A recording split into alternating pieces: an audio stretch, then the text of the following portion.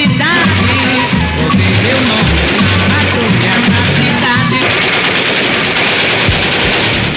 Um homem, até agora não identificado e cujo corpo está no IML para necrópsia, morreu afogado na Praia Grande do Outeiro no último final de semana.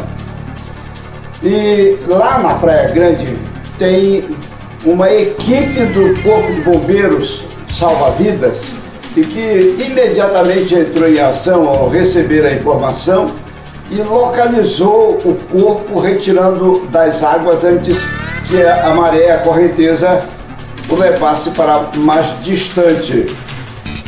Não se tem informações em que circunstâncias esse afogamento aconteceu e se foi realmente afogamento, já que a Polícia Civil, que registrou o óbito, está aguardando o laudo da necrópsia para verificar se realmente foi afogamento. Caso contrário, será instaurado um inquérito para investigar o caso.